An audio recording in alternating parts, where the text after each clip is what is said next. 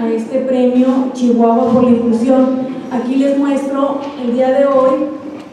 sale publicada en la Gaceta del Municipio la convocatoria,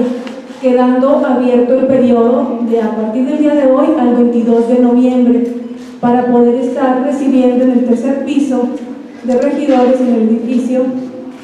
todas las propuestas que vengan de la sociedad civil y también de personas físicas. Como comentaba aquí el señor presidente, pues es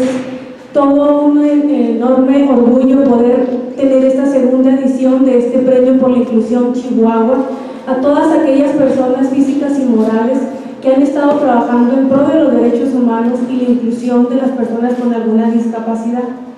Para ello se formó ya la comisión especial, quedó integrada el pasado viernes, la cual está conformada por los coordinadores de las, eh, de las fracciones edilicias,